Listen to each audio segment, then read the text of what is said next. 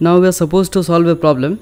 So consider the problem statement that is given a list of numbers let us say 3 then 5 0 9 2 what you are supposed to do is take this zeroth index element that is 3 print 3 as it is then one tab character and corresponding to this number 3 print 3 stars because this number is 3 so 1 2 3 then change the line.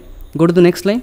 Print the next element that is at index 1 so these are index 0 index 1 index 2 3 and here 4 right? So now print this 5 and then corresponding to this number that is 5 print 5 stars here. 1 2 3 4 5 then print the next element that is 0 in the next line and then tab character and then 0 star. So no star. Then change the line again. Print the next element that is 9 tab character and then print 9 star. 1 2 3 4 5 6 7 8 9 9 stars are printed. Change the line. Print the next element that is 2 tab character and then corresponding to this number print 2 stars here. Right? So this is the problem statement. Now pause the video and try to write the code for this. Alright so assuming that you have tried enough let us move to the solution part now. So if you observe this list of numbers what I can do is let us say the name of this list is LT okay. So if you observe here let us say the indices I'll represent them with variable i. List of i. What I'm supposed to do is if the value of i is 0 when i is 0 list of i is going to be 3 so print that number 3 then give a tab character here like this one tab character. After that start a loop right? For this list of i start a loop which will start from 1 and go till exactly lt of i so what is lt of i now? It is 3 right? So it will start the loop j will start from 1 and it will go till the element. So just print 3 times star then change the line. Then the next element is 5 5 tab character print 5 stars 1 2 3 4 5 and in the same in the similar way we can print all the corresponding elements with stars like this right?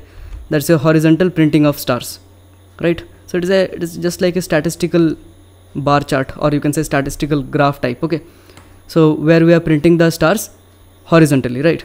So let's convert this idea that I discussed here into code now. So I'll just go to my editor. So first of all I'll take n assignment operator int and let me read the input. That is the size of the list or array whatever you want to say. Now in this it is better that I put a message here for the user. That is enter n right?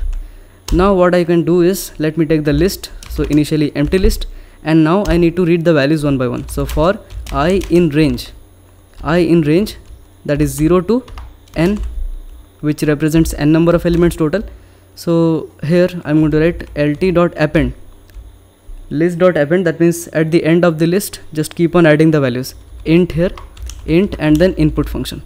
So before this loop starts let me generate a message that is print enter the elements one by one so I can write here enter the elements one by one. Okay. So this loop will help me to read the value of this list right? Okay. Now I can just come out. Now what I should be doing is let me define a function right? So let me name the function as pr and pr so it stands for print rows print rows for each element each element in the list right so define keyword def and the name of the fu uh, function that is pr and here the parameter let's say t here okay? This t will receive the list actually the reference of the list. Anyways now I can write here n that is the length. So I can just find the length of this t. So len of t. So this len function that is the built-in function len will give me the length of the list okay? So once this is done now I can just iterate through my list. So I can write here for i in range. Range 0 to n.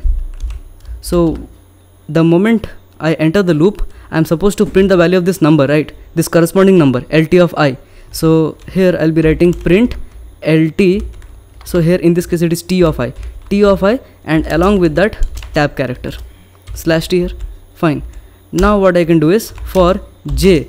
J will uh, j will have the range of that is 1 to lt that is your list of i plus 1 list of i plus 1 because I'm starting from 1 so that's why I have to give plus 1 here because this is your excluded right? The second argument here in this if you observe right? So that's why plus 1 and then colon come within this j loop print star in which fashion? In horizontal manner. That's why comma so comma end empty string.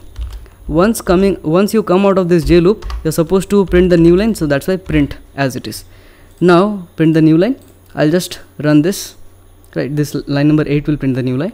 Now here enter the value of n.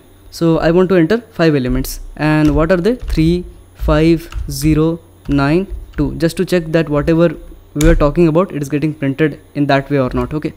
So hit enter. So it didn't print anything. It, which is quite obvious because i did not call the function. So I need to call the function. Defining is not enough.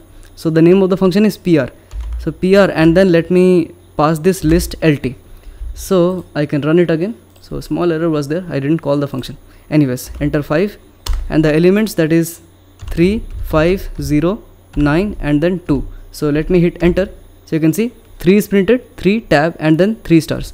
So this 3 is printed due to this t of i because t of i is initially 0 t of 0 is 3 then tab character and this G this J loop is responsible for printing 3 stars. In the same way for 5092 it prints the stars horizontally. Okay, so I hope this piece of code is clear. Okay, so this is your code here. Okay, fine.